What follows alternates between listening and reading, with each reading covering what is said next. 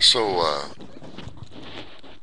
what does animal wisdom or instinct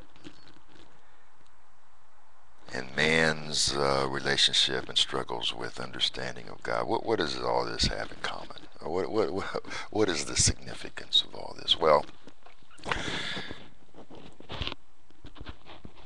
I think uh, in spiritual terms, and, and one of the things I've always found fascinating is, is spirituality, spirituality issues.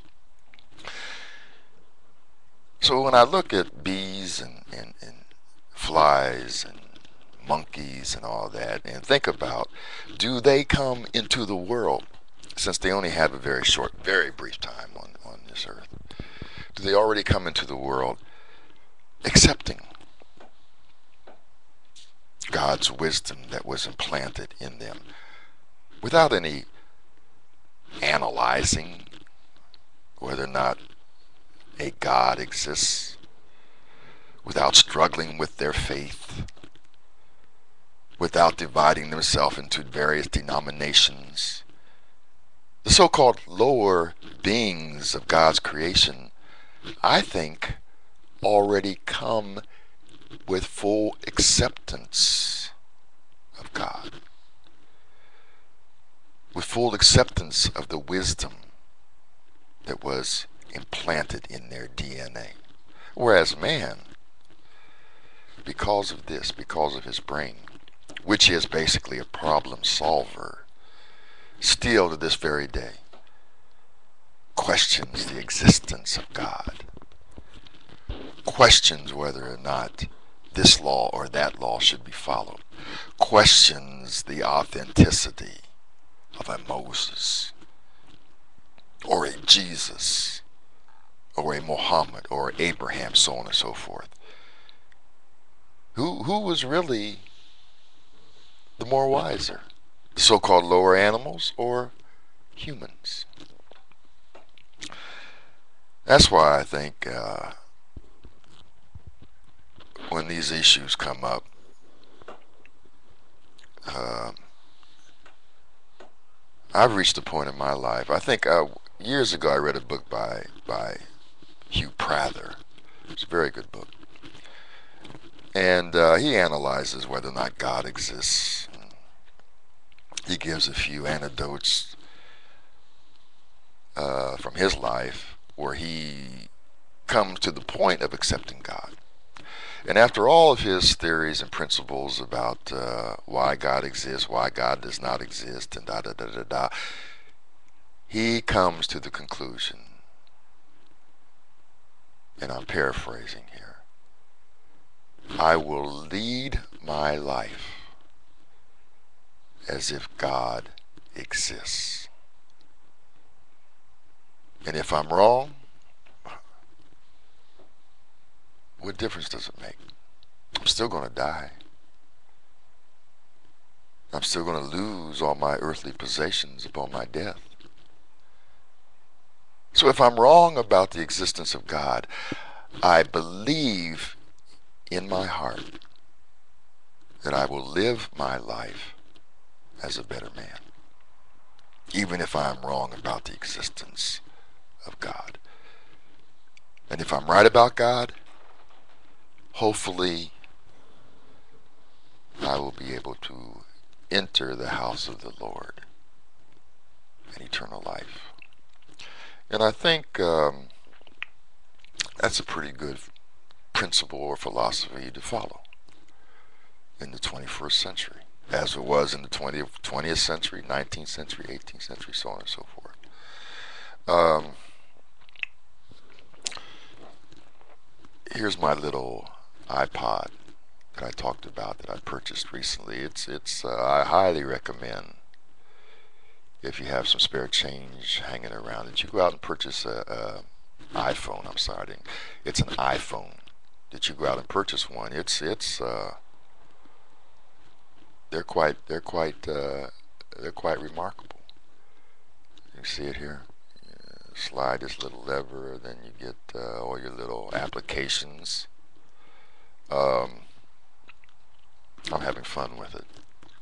take it every place I go. And it has a built-in iPod, so uh, I've been able to download some fantastic music. Uh, put on my earphones, not these, but other earphones, and I'm ready to go. I'm ready to go to work, ready to, if I can't uh, find a lovely lady to sit down with at a coffee shop, yeah, I just plug in my uh, my iPhone, switch on the iPod, and I'm, uh, quite content. Um,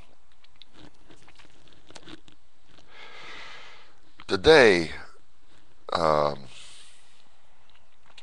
this is kind of a little Twitter via video. I uh, plan to go to my little coffee shop, relax. I plan to uh, jog Lake Merritt, which I've called my lake.